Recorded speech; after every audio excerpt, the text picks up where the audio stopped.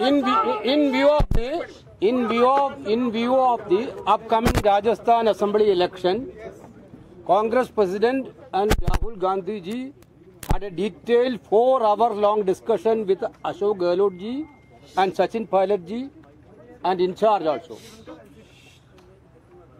In this discussion, we have decided to fight election unitedly both of are in agreement that Congress party has to go together and definitely we will win election in Rajasthan because Rajasthan is very clear that Rajasthan is going to be a strong state for Congress party.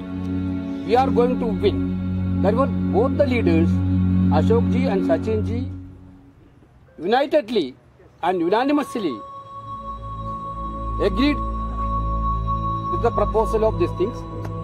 Both the leaders are agreed to join together and it will be a joint fight against the BJP. We will win the state. This all.